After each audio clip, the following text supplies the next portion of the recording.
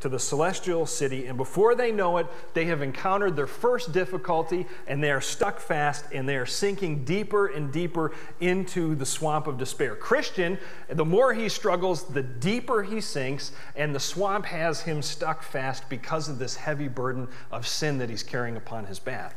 Pliable, however, because he's easily influenced and is just along for the ride because he thinks that this is the next thing that will make him happy, doesn't have as much of a problem as Christian because he's not bearing a burden. And so, what does Pliable do? He decides he's had enough. This no longer makes him happy. This is not what he signed up for. So, he altogether changes his mind and he slogs his way out of the, the, the swamp of despair because he has no burden of his on his back and he's able to do so. And Pliable reminds us of a very important parable that Jesus told us. It's called the parable of the sowers. Now, this is the story where a farmer is broadcasting seed in, in a field. And I just want to take a look at, at one of these characters from the parable of the sower. And here's what happens in Mark chapter 4. Jesus says that some of the seed fell on stony ground where it didn't have much earth. And immediately it sprang up because it had no depth of earth. But when the sun was up, it was scorched, and because it had no root, it withered away and died. What is Jesus talking about? Well, we actually see this happen quite often to people who place their faith in Jesus Christ out of, out of fear of the, their, their existence in the city of destruction, don't want to be there, want to be on their journey to heaven, have a relationship with Jesus Christ. And so they make a decision, they make a profession of faith, and then things get hard and they decide, oh, I didn't sign up for this. This isn't working for me. And so Jesus explains the parable then in verse 16. He says, These likewise are the ones sown on stony ground, who, when they hear the word, immediately they receive it with gladness. See, this is typically, uh, there's an emotional experience that goes along with, with this profession of faith, and they're immediately relieved and feel like this burden has been lifted off of their shoulders, but it's short lived because, verse 17, they have no root in themselves. And so they endure only for a short time. And afterward, when tribulation or persecution, the swamp of despair, arises for the world's sake, immediately they stumble. They stumble. See, adversity reveals your faith's veracity. Adversity reveals your faith's veracity. The word veracity means to discern whether or not something is really genuine, whether it's really real. And nothing will reveal whether your faith is real or not like your response to adversity. Well, back to our story in the, the swamp of, of despair, along comes a man named Help because Christian desperately needs help. He cannot save himself. And in the Pilgrim's Progress, help represents the Holy Spirit, who is always present to help us in our time of need. And so, help lifts Christian up out of the swamp of despair. Pliable, however, he had already clawed his way out of the swamp and is on his way back to the city of destruction, and we never hear from Pliable again. Now, no sooner had Christian even dried off than he encounters a man named Worldly Wise Man. Worldly Wise Man simply represents the worldly wisdom of this world. And Christian now is faced with a choice because Mr. Worldly Wiseman discerns that Christian is on the journey to the celestial city, sees that he has a book, and Christian tells him, You know, I, am on my way to the celestial city. Um, and, and Worldly Wiseman says to him, Yeah, but you, you, you can't go that way. This is that what, what you're pursuing is not all it's cracked up to be. And that book of yours, ah, you really shouldn't listen to that. You're not going to be happy following that book. In fact, there's a better way. That burden that you're carrying on your back, there's actually a shorter path, there's an easier path to get that thing off of your back. Come with me, let's go this way. And oh my goodness, what a what a bad decision that proves to be because every time you follow worldly wisdom, it always ends in regret. Everyone thinks that they're going to be the exception, but nobody is. And that proves to be true in Christian's case as well. And so, as worldly wisdom points this out this new path to Christian, Christian sets out on his journey in that direction, and he ends up at the base of a terrifying mountain, maybe like a volcano, because there is fire and brimstone raining down on Christian, and he is terrified and he regrets that he ever listened to the words of Mr. Worldly Wiseman. And that's a lot like life. That's a lot like our journey as Christians, where we get off of God's path, we stop listening to his book, we take matters into our own hands, and we chart a new course for our life. We do what we want, and we listen to the, the world's wisdom. And where does that end? Never anywhere good. And it can be an awfully terrifying place to be. Well, evangelist gets word that Christian is in terrible danger. And so he comes to the rescue and he, he pulls Christian aside and he says, Christian, how in the world did you end up here? And Christian says to him, I know, I, I, I should have never listened to worldly wise men. I, I'm so sorry that I, that I ever did. And so evangelist reminds him, look, you, you have that book. You've, you've got your Bible. Stay on the straight and narrow. Follow your book. And boy, what a, what a message that is to all of us who claim the name of Christ. Christian's book is the Bible. And that book serves as Christian's map that's going to see him through all the way to the celestial city, and all he has to do is follow it. So I'm going to need, uh, I'm going to need a couple children. we already have volunteers. All right. So I'm looking for kids who are maybe like third grade and under. Um, yep, Simeon Calderon, I see that hand. Come on up. He actually didn't raise his hand. Anna Dawson, come on up. And we have, yeah, Kenty, come on up here. All right. Oh, that's okay.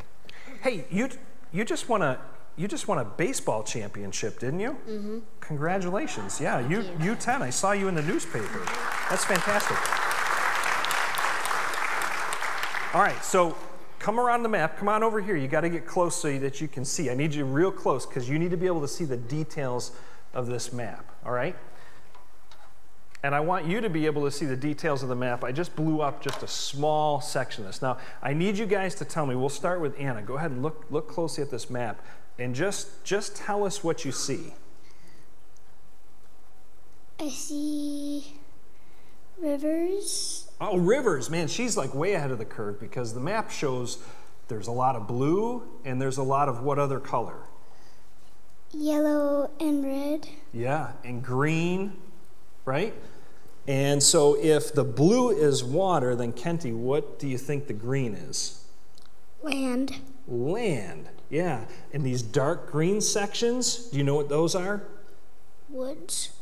Woods. The whole green is actually woods. Those dark green sections, those are swamps. Okay, Simeon, you got to look really close. Tell me what else you see that they haven't said yet. Um. Is this confusing? Kinda. Yeah. Is it like trails and roads? Trails, yes, exactly. Do you see any little black triangles? Mm-hmm. Uh, you got to get really close. You see them down there? Yeah. Any guesses? Cities. Cities. Those are actually campsites. Those are places that you can camp. How about this little green splotch right in the middle of the blue? What do you think that is? An island. That is an island. Good. All right. Thank you guys so much for helping me.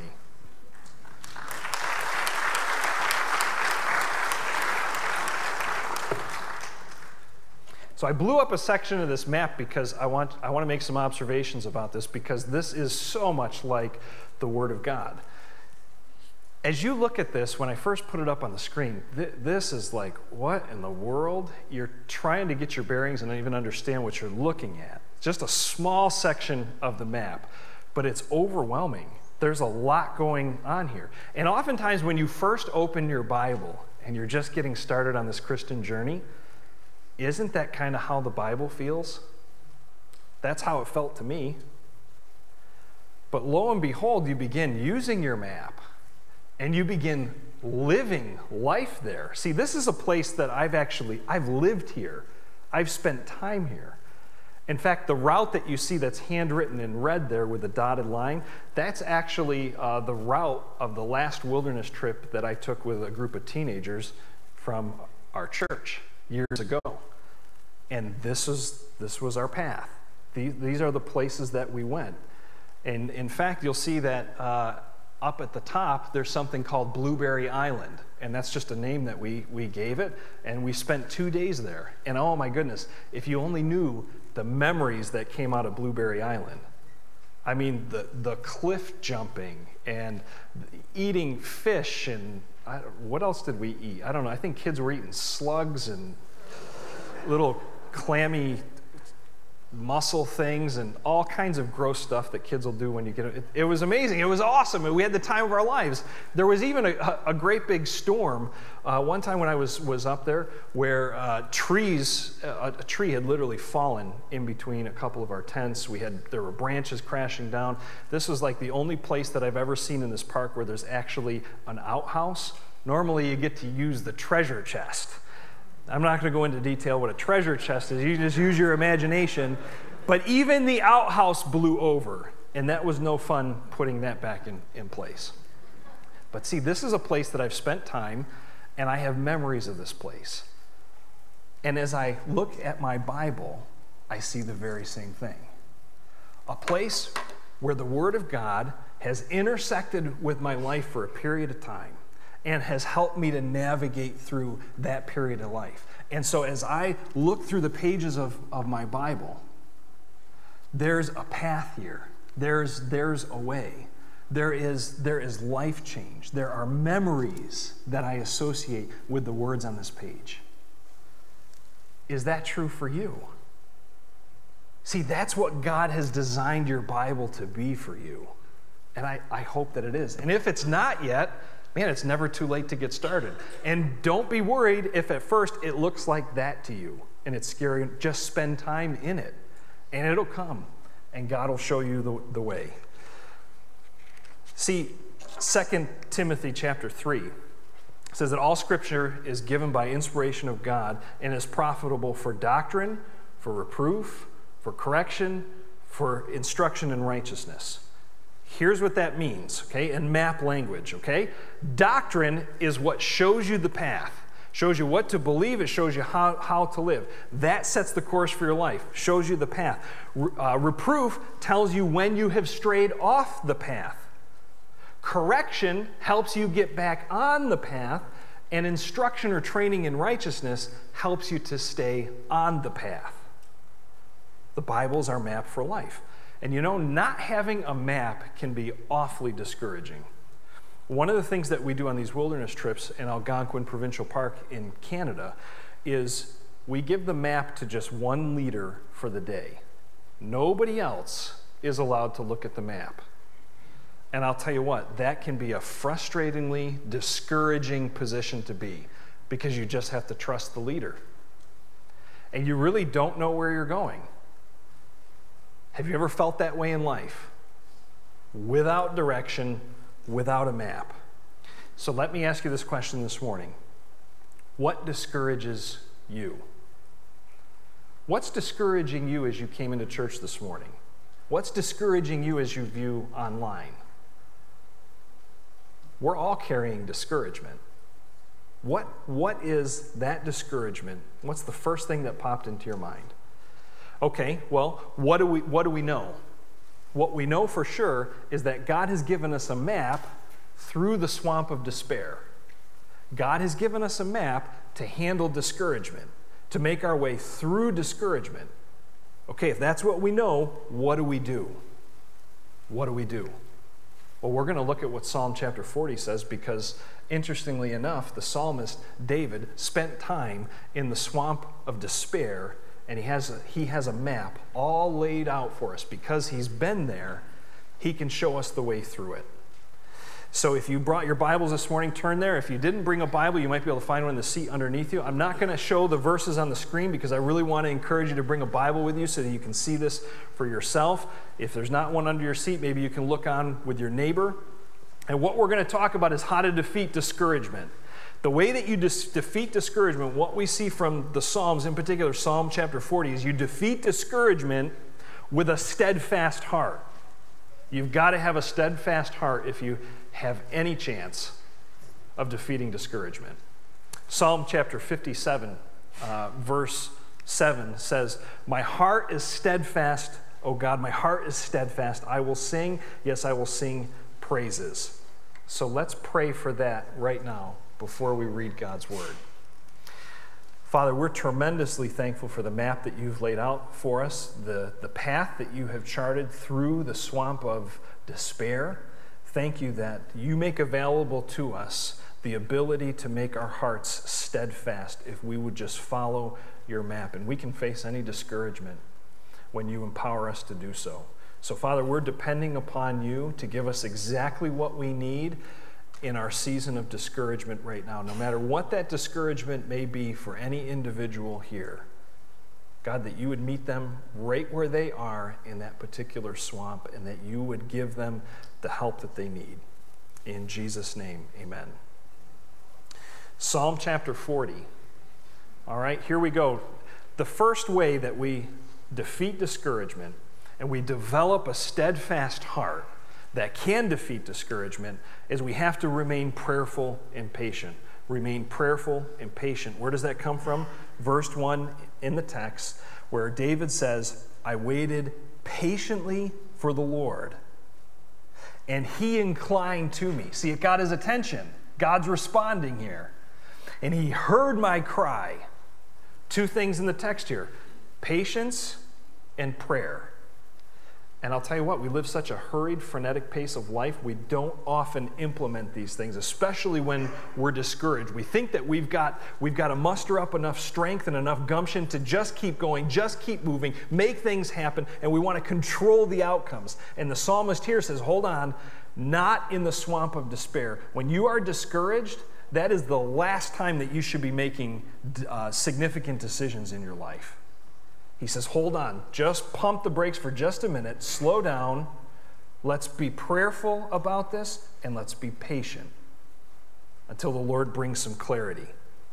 Okay, number two, you have to repent of your sin. If you're going to develop a steadfast heart that can defeat discouragement and you're going to navigate your way through the swamp of, of despair, you've got to evaluate your heart. Is there sin that's actually discouraging you? Is that the root of where that discouragement's coming from? Look at verse 2. He also brought me up out of a horrible pit, out of the miry clay. Okay, that's like the city of destruction, the, the, the swamp of despair. This is, this is a bad place to be in. Well, how do we know this has anything to do with sin? Well, this is poetic imagery, okay? Just like the Pilgrim's Progress gives us poetic imagery, so the psalmist does too.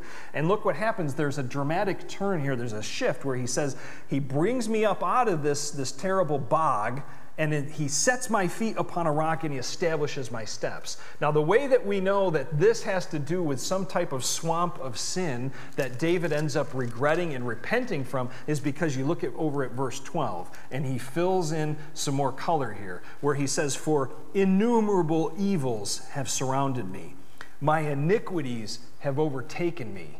See, he's drowning in the swamp of his sin so that I am not able to even look up, and they are more than the hairs of my head, and therefore my heart fails me. See, he has lost a steadfast heart. He's dying, he's drowning in this. So, what does he have to do? He has to repent of his sin. Now, the turning point in, in verse 2, where he comes up out of the miry clay, who's the one doing the action? Is it David who clambered up out of the swamp? Nope, it's not. Help came. God saved him from his sin. God gave him the gift of repentance. Here's what Scripture says that repentance is a gift. But not only is it, is it a gift, it's a gift that is to be received and acted upon. And so, our responsibility as, as believers is to say, okay, enough of this. I am, I am done with this quagmire of sin that I've gotten myself into. I'm forsaking that, I'm turning away from it, and now I'm turning to God. That's what repentance is. It's both a gift from God and it's an active, responsive obedience. And that's what we see uh, the psalmist doing in verse 2. So we repent of our sin. How else do we develop a steadfast heart? Number three, you have to reframe your problems into praise. Okay, this is a mind shift here. You've got to change your thinking, reframe your problems into praise. Look there at, at verse 3 with me. He has put a new song in my mouth. Praise to our God. See, even amidst the problems, there is praise that is due God. Many will see it in fear and will trust in the Lord. See, there's a dramatic mind shift that takes place there. It's just like uh, James chapter 1 in verse 2, where he says, My brethren, count it all joy when you fall into various trials. Man, that sounds like crazy talk, right? knowing that the testing of your faith produces patience or endurance. But let patience or endurance have its perfect work, that you may be perfect and complete, lacking nothing. And guess what? In the story of, the, of Pilgrim's Progress, we see that exact work happening in Christian's life, where he makes it up out of the swamp of, of despair, only to face his next challenge successfully, because he's already got one under his belt. Reframe your problems into praise. Number four, the fourth way that we're going to develop a steadfast heart that can defeat discouragement is you've got to renew your mind in God's truth. Renew your mind in God's truth. Uh, Romans chapter 12, verse 2 says this And do not be conformed to this world, but be transformed. How? By the renewing of your mind. How do we renew our minds? Through God's map, His book, the Bible that you may prove what is that good, acceptable, and perfect will of God. Now, look at our, our text, chapter 40, verse 4 is where we pick up.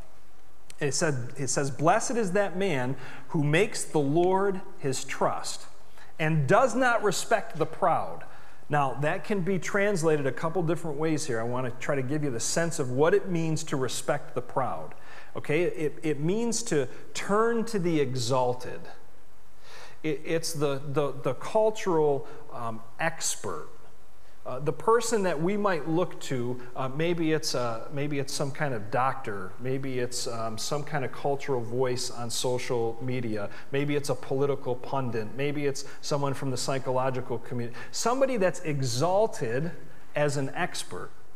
See, he's saying, don't trust in that, don't trust in them, instead, trust in the Lord. Okay, nor such as turn aside to lies. So discern here what's truth and what's error. How do we do that? By renewing our mind in, in, God's truth. So, what discourages you? I can tell you that one of the things that discourages me, based on that verse in, in verse 4 there, one of the things that discourages me is when I try to be somebody else. You know, it, one of the things that's made it challenging to be a pastor is the availability in our information age, the accessibility of celebrity pastors. You all have access to the greatest preachers in the world on YouTube and podcasts. And every week when we get into this pulpit, we feel like we have to measure up to them. Because we know that you're listening to them, you're hearing them, you're seeing them. I can't measure up to that. Not even Pastor Shirk can measure up to that. Here's what I have to here's what I have to understand and I have to bring my heart back to. That God has given me, he's designed me to be and to do exactly what he's called me to be and to do, and that's the space in which I have to live. Now, here's the truth that I have to tell myself from the, the, text, okay? We talked about the lies that it mentions at the end of verse 4. What's the truth that we have to counter that comparison trap with? Well, we see it in, uh, in verse 11, where he says, Do not withhold your tender mercies from me, O Lord. Let your loving kindness, this is God's love toward me in action, let your loving kindness continue, uh, and your truth continually preserve me. I've got to come back to the reality okay, God loves me for who I am. He doesn't love me more the more I become like so and so celebrity pastor. That's not how God's love works. That's a lie. I don't doubt that you struggle with the comparison trap too. I know being a pastor doesn't make me unique from the rest of humanity. This is a trap that we all struggle with. And man, is it a discouraging one. You know, another source of discouragement for me is trying to live up to other people's expectations, but neglecting God's appointed limitations. I try to live up to other people's expectations for me, and I ignore the limits that God has given to me as a person. So, I'll, man, when I'm trying to be everything and do everything that I can for people, because if, if I only just said it just like this, or if I only knew enough, if I could only package it this way, this would result in life change. If I only invested more in this person or in this group, or could di- do more, spend more time, give more, be more, God would do more. Nope, that, that's not how this works. Not at all. That's a lie, and that is worldly wise man's course to destruction and discouragement. Well, another thing that discourages me is, is listening to the wrong voices. And holy cow, our world is just getting noisier and noisier. We, we are just inundated with voices from all kinds of sources of influence. So evaluate who are you really listening to? Okay, when it comes to social media and, and all these other venues, that was Christian's challenge in the Pilgrim's Progress when he encountered Mr. Worldly Wise Man. And he listened to his voice instead of his book. We had Jim and Diane Boughton with us last weekend, and uh, they were up here looking for a place to, to relocate. And uh, so they stayed at our house, and they have a little dog named Walter. and Walter, I wish you could see this dog. I, I thought about putting a, a picture of him up here, but it might affect you in adverse ways. Don't tell Jim and Diane we're having this discussion. Wally, he, he's a cute little guy. Um, 15 years old, this little dog. Blind and deaf. I mean, this dog, he can't do anything on his own. So a couple times, you know, Jim or Diane would put him in our yard. Our yard is not big, and it's totally fenced in. And somehow Wally would get lost in our backyard. And he begins to get nervous and shake, and he can't quite bark. He's too old to bark. I don't know what you call the sound that he emits from his mouth. It's not a bark. But as soon as Jim or Diane speak, as deaf as this dog is, he is tuned into Jim and Diane's voice. He doesn't hear anything else. Man, I thought to myself, like, that's exactly how I, I need to live my life like Wally just listening to God's voice and blocking everything else out. I could speak to Wally, my kids, my wife, they could speak to Wally to no avail. Doesn't care. He only listens to Jim and Diane. 2 Peter chapter 3 verse 17 says, "You therefore, beloved, knowing this beforehand, be on your guards that you're not carried away by the error of unprincipled men and fall from your own steadfastness." There it is in the word of God. Renew your mind in God's truth. Whose voices are you listening to? Well, number five, fifth way that we're going to develop a steadfast heart that can defeat discouragement is you've got to rehearse what God has done. Look with me at verse 5 in Psalm chapter 40. Many, O Lord my God, are your wonderful works which you have done, and your thoughts toward us cannot be recounted to you in order. If I would declare and speak of them, they're more than can be numbered. You have to rehearse what God has done. Maybe that means uh, recording what God has done in a thankful journal, where you just take a, a, couple minutes at the end of the day to record a couple things that God did even in the course of the day. See, that helps you to reframe your problems into praise, and it helps you to renew your mind in God's truth, rehearsing what God has done.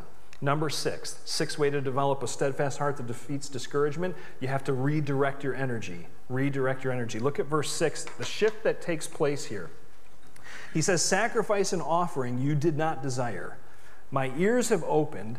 Burnt offering and sin offering you did not require. Then I said, Behold, I come. In the scroll of the book it is written of me. Verse 8, here's the shift. I delight to do your will. Oh my God. It's not about him and it's not about the, the swamp of despair. It's not about his problems. It's about his obedience to God. And we see now that his, his heart is beginning to be redirected from being pointed inward at himself and the focus being on himself and it being redirected outward and your law is within my heart. Verse 9. How does that get manifested in his life? We see his life becomes about others rather than just himself. He says, I have proclaimed the good news of righteousness in the great assembly. Indeed, I do not restrain my lips. O Lord, you yourself know. I have not hidden your righteousness within my heart. No, I have declared your faithfulness in your salvation. I have not concealed your loving kindness and your truth from the great assembly. He's proclaiming it now. See, a life focused on self is a life lived in the wrong direction, especially if you claim to be a believer in Jesus Christ.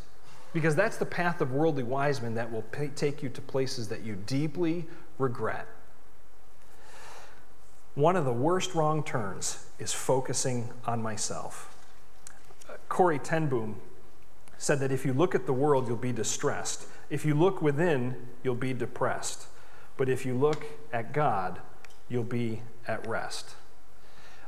You know, there's a place that I wanted to show you that um, is is, actually special to me on this map um, because of the memories that I have there. And, and one stands out as particularly dramatic. Uh, we needed to, my youth pastor and I, back when I was a, a teenager and um, was a senior in high school, getting ready to go to college, we had to set out early. We had to split from the rest of the group because he needed to get me back so that I could be on my way for my very first day of Bible college. We set off on um, this is the, the what you're looking at is the north arm of Lake Opeongo, the largest lake in Algonquin Provincial Park. And we set out early in the morning, and there is a dense fog settled all over the water. And you cannot see the landscape, and you need to be able to see the landscape to navigate and chart your path, to be able to match it to the, the map. Well, we paddled for hours and hours, and we end up in this swamp with all these switchbacks, and it's you know one step forward and two steps backward, and winding and twisting. And we think we're in one place on the map, when in reality we're in an altogether different place. But didn't realize that till we got to the end of this swamp, which is illustrated on the map by that big dark green region on your left. And I don't know if you can see this or not, but this swamp has a name. There's a creek that meanders back and forth through this swamp, and the map doesn't give justification to just how dramatic the landscape here is. But can you see the name of the creek? That was where we lived. Ugh. Creek. Maybe you're spending time right now paddling the creek of Ugh. Because, man, when we got to the end of that and realized that we had spent half a day wasted when we needed to be somewhere, that was massively discouraging. So we're just floating there in our canoe trying to figure out where to go. Where did we go wrong? I think we're in Ugg Creek. Yeah, that is for sure. Maybe that's where you're at right now, and you've got to redirect your energy because taking a wrong turn can be massively discouraging, can it? Well, number seven in our, in our text. If you're going to develop a steadfast heart that defeats discouragement, sometimes you have to recruit help. Okay, if you look at verse 13 here, it says, Be pleased, O Lord, to deliver me. O Lord, make haste to help me. Look down at, at verse 17.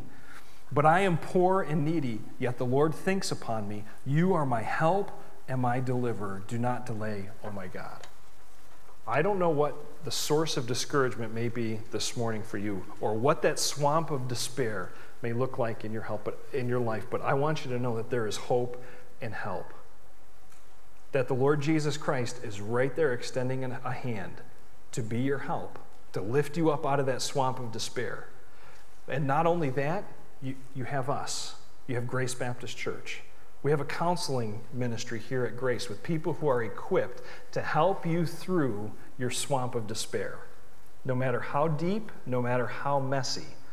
And we would count it a privilege to do so. We're going to be gearing up over the course of the summer to get ready to launch community groups once again in September. Man, those can be a great source of encouragement and help for you in developing a steadfast heart. So I hope that you'll have that on your radar and that you'll consider signing up once we get to the fall. But there is hope and help available to you right now. All you've got to do, just like Christian did in the swamp of despair, is respond. Please pray with me. Father, we're tremendously thankful for the resources that you have blessed us with in the course of our journey, and what a dangerous journey it is. None of us can ever anticipate the, the twists and setbacks and turns that our, life, our lives take upon the way. Some of them are our fault, some of them are not. They're by your design. And so, Father, I would pray for those who might find themselves in the swamp of despair this morning that they would respond to the help that only you can offer. That you would steer them away from the voices of our culture, away from the voices of all of the worldly wise men that would seek to speak into their life and tell them how to handle their burden of sin and tell them how they can have hope and how they can know the truth and blah, blah, blah. That they would have a tuned ear toward your word. So, God, help us to be in your book, following your map for life. In Jesus' name, amen. Thank you so much for, for joining us. And if you joined us online, we're tremendously grateful that you were with us this morning as well. We hope that you have a phenomenal rest of your day, great week. We're looking forward to being together again next week. You are not dismissed, you are sent. Have a great day.